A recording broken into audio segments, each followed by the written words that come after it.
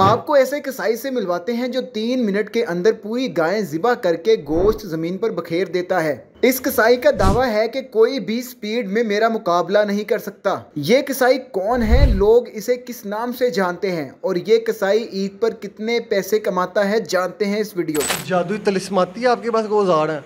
नहीं नहीं जादू तो नहीं है फ़िलहाल। हम आप ही जादू हैं। असलम जी आप देख रहे हैं पाकिस्तान टुडे और मैं हूँ तैयब सुलही नाजिन। आप जानते हैं ईद अजी की आमद आमद है और मैं आपकी मुलाकात करवाने जा रहा हूँ पाकिस्तान के तेज़ तरीन कसाई से जो सिर्फ़ तीन मिनट में किसी भी जानवर की खाल उतार देते हैं। ये इतने तेज़ी से काम कैसे कर लेते हैं और एक दिन में कितने जानवर ज़िबा करते हैं? तमाम तर बातें इनसे जानते हैं। असल वालेकुम सलाम। आज़म साहब बताइएगा कि तेज़ तरीन कसाई हैं आप पाकिस्तान के। तीन मिनट में किसी भी जानवर की खाल उतार देते हैं ये कैसे कर लेते हैं? शुक्र अहमदुल्ला अल्लाह का शुक्र है कारीगर हैं कारीगर तो कोई मसला नहीं तीन मिनट में क्या अगर बड़ा सा बड़ा जानवर भी आएगा तो ढहा के पास करेंगे उसको। सिर्फ़ तीन मिनट में? सिर्फ़ तीन मिनट। ये आपने काम कब से कर रहे हैं और कहाँ से सीखा? बकरा मंडी के मेले से सीखा काम। मैं पैंतीस साल हो गए काम करते हुए। पैंतीस साल से आप ये काम कर रहे हैं? जी पैंतीस साल से। अच्छा तो अब तक कितने जानवर जो है वो आप ज़िबा कर चुके हैं? वो तो काफ़ी तादाद है लेकिन कुर्बानी का जानवर करीब कम से कम सौ जानवर पकड़ते हैं एक दिन में कितने जानवर कर लेते हैं? एक दिन में इंशाल्लाह सुबह से लेकर शाम तक करीबन सौ सवा सौ जानवर कर लेते हैं। अच्छा आपकी बड़ी ईद पे जो ईद अजी है इस पर तो बड़ी डिमांड होती होगी। लोग बुकिंग वगैरह पहले ही करवा लेते हैं? हाँ कोई करीबन महीना पहले ही आ जाते हैं बुकिंग वगैरह कराने। महीना पहले बुकिंग हो जाती है? महीना पहले। कितनी बुकिंग अभी तक हो चुकी है? अभी तक काफ़ी बुकिंग होगी। अभी आ रहे हैं लोग लेकिन अभी गर्मी की वजह से ना थोड़ा स्टे कर रहा हूँ ज़रा। तो ईद के पहले दिन कितने के जानवर कर लेते हैं? अभी तक तो करीबन पचवंजा जानवर हुए हैं। पचपन जानवर एक दिन में आप जो है कर लेते हैं? एक दिन में। तो कितने पैसे लेते हैं? बाकी कसाईयों से आपके रेट में कितना फ़र्क है? बकाया कसाईयों से मेरे रेट में फ़र्क है। मैं करीबन पच्चीस हज़ार रुपये एक फ्री जानवर के लेता हूँ। एक जानवर का आप ज़िबा करने का लेते हैं पच्चीस हज़ार पच्चीस हज़ार रुपये मुकम्मल। बाकी मार्केट में क्या रेट चल रहा है? बाकी मार्केट में कोई तीस ले रहा है कोई पैंतीस ले रहा है कोई चालीस ले रहा है। यानी कि बाकी मार्केट से आप कम पैसे ले रहे हैं और काम इतनी तेज़ी से कर रहे हैं इसके पीछे क्या वजह? इसके पीछे वजह ये है पैं पच्चीस हज़ार रुपये बड़ी रकम होती है बड़े जायज़ पैसे हैं कोई नजायज़ नहीं बड़े बहुत जायज़ पैसे हैं। अच्छा ये तो एक फ़न है आप आ, के पास कि आप तीन मिनट में किसी भी जानवर को ज़िबा कर लेते हैं और इतनी सफ़ाई से काम कर लेते हैं तो कभी ख्याल नहीं आया कि कोई और काम कर लें? ये आप इतने कारीगर आदमी हैं तो कोई और भी तो काम कर सकते यही पेशा क्यों चुना? नहीं नहीं यही पेशा हमारा ख़ानदानी पेशा है। अच्छा। यही पेशा हमारा वो और काम बड़ा सोचे लेकिन नहीं। हम्म। इसका वैसे भी दिल से शौक है इस काम को करने को। हम्म। मतलब ये काम करके मज़ा आता है आपको? ये मज़ा आता है काम करने का। बच्चे वगैरह भी हैं वो वो क्या काम करते हैं? वो भी ये मेरे साथ काम करते हैं। अच्छा आपकी पूरी टीम है? पूरी टीम है। और ईद के दिनों में कोई ख़ास पैसे ज़्यादा पैसे मांगते हैं क्या डिमांड ज़्यादा होती है? नहीं नहीं खास पैसे नहीं मांगते। जो पैसे चलते हैं ना पच्चीस हज़ार रुपये वही लेते हैं उनसे। कम नहीं लेते। वो भावें पहला दिन हो या दूसरा दिन हो। डेट एक ही है पच्चीस हज़ार। तो आपसे लोग नहीं पूछते कि यार किस तरह कर लेते हैं इतनी जल्दी? लोग देख देखने को आते हैं पूछते नहीं देखने आते हैं वो। लोग आपका काम देखने के लिए आते हैं? देखने के लिए आते हैं। पूछने का बात कुछ और होती है देखी बात कुछ और होती है। हम्म। अगर किसी को मेरी बात पर यकीन नहीं है मेरे पास आ जाए मैं उसको दिखा दूँगा। तो बड़े वायरल भी रहे हैं आप पिछले कुछ अर्से में। क्या वजह है? लोग कितना पसंद करते हैं? लोग स्पेशल आपको आपकी बुकिंग करवाते हैं।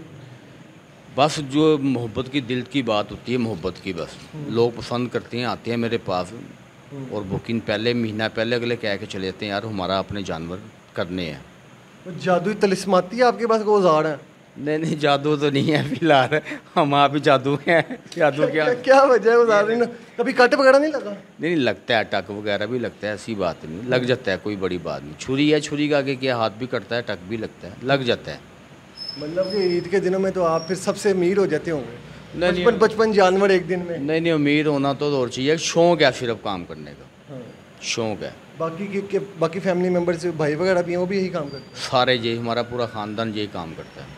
तो आपने जिन, जिनसे काम सीखा वो नहीं कहते कि यार आप इतने मशहूर हो गए हैं फ़ेमस हो गए हैं लोग आपको बुकिंग करवाते हैं। आपके उस्ताद वगैरह नहीं आपको कहते कि यार आप इतने फास्ट कैसे हो? नहीं हमारे मेरे उस्तादों को हम मेरे पे फ़ख्र है। मैंने उनका नाम रोशन किया है। उनका नाम घटाया नहीं है रोशन किया क्या कहते हैं वो आज आपको? आपकी इतनी मकबूलियत देखकर उनका क्या रद्दमल है? क्या तासुरात है? वो खुश होते हैं मुझे देख के। हम्म। चलो हमारा शहीद कोई ना कोई हमारा नाम तो रोशन कर रहे हैं। आप काम सिखाते भी हैं लड़कों को? हाँ हाँ काम सिखाते भी हैं ऐसी बात नहीं। कितने के शगिर्द है अभी तक काफ़ी हैं शरीक बहुत बहुत आते हैं। हम्म।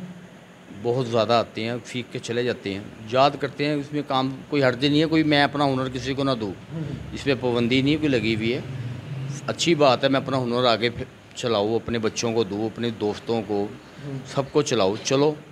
फैमिली मेंबर्स नहीं कहते कि यार ये क्या काम है कोई आप इस आप इतने टैलेंटेड हैं कोई आप कोई और भी काम कर सकते हैं कोई हम्म, साफ़ सुथरा काम भी कर सकते हैं तो यही काम करते हैं घर वाले नहीं कहते कि यार ये काम बदल लें। नहीं नहीं नहीं घर वाले नहीं ये कहते कि हमारा काम ही यही है बड़े काम देखें इसी को चॉइस करा वो यही करना है बस काम। बाकी सारा साल क्या करते हैं? ईद के दिनों में तो चलो देख लिया कि आप ये काम करते हैं। बाकी सारा साल क्या करते हैं? बाकी सालों साल यही काम करते हैं बारह महीने। आपकी दुकान वगैरह? दुकान नहीं आ रहा था मंडी में। मंडी में आ रहा था आपके वहाँ पर भी आप यही काम करते हैं।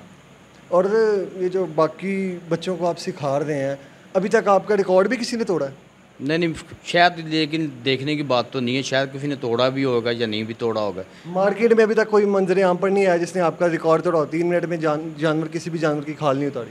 नहीं नहीं फ़िलहाल अभी तक तो मैंने सुना नहीं इस बात का। अगर किसी को शौक है तो कार तोड़ने का मेरे सामने आ जाए। अच्छा जी ओपन चैलेंज ओपन चैलेंज कभी किसी को चैलेंज किया हो कि यार मेरे जैसा काम करके दिखाओ? नहीं चैलेंज तो मैंने पिछले साल किया था। मैं कहा जहाँ तो लाख रुपये आके ले जाओ या पचास हज़ार दे जाओ। ये अच्छा पिछले साल की मेरी आवाज़ अभी तक साल बीत क्या गया वाक्य। कोई आया ही नहीं।